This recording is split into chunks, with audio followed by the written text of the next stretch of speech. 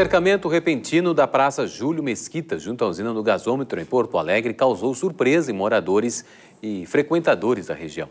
Mas, de acordo com a Prefeitura, a colocação das cercas é apenas o início de mais uma etapa da revitalização da Orla do Guaíba. Agora o cercamento está completo. Um portão foi colocado na abertura da cerca ao redor da Praça Júlio Mesquita, que fica entre a Avenida Mauá e a Rua Washington Luiz, próxima ao gasômetro. O acesso está totalmente fechado para os moradores que usam o espaço para o lazer, mas também para trabalhadores que usam as paradas de ônibus no entorno e agora têm que caminhar um pouco mais. Ficou mais difícil, né? Para a gente, ainda mais a gente que mora longe, que eu descia dali, só atravessava e já entrava aqui na, na rua do meu emprego para arrumar ali, né? A praça, né? Espero que seja mesmo. Interrompeu o acesso das pessoas, né? Até para o gasômetro ali, que muita gente passava aqui.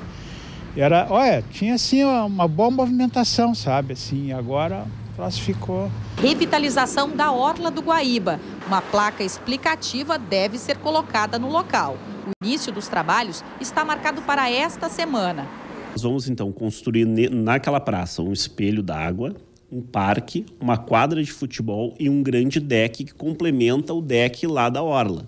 Então não tem como as pessoas transitarem no local ali tendo uma, uma obra de, desse tamanho, né? Senão acaba pode ter algum acidente. Então se optou pelo fechamento da obra.